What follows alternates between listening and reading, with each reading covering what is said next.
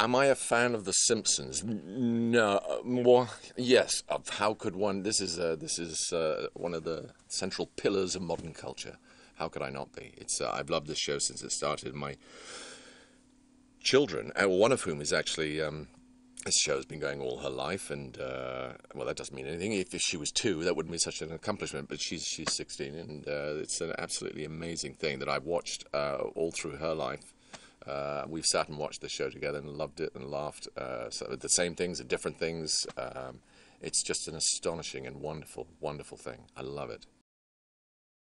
I'm a rather sinister character. Um, uh, and I get my just uh, comeuppance in the end. I die. Actually, I don't think I've ever died on microphone. Uh, it's not really a phrase, is it, to die on microphone? But I die, um, and uh, so that's a, that's a first. This and this is a much much bigger first, of course, for me.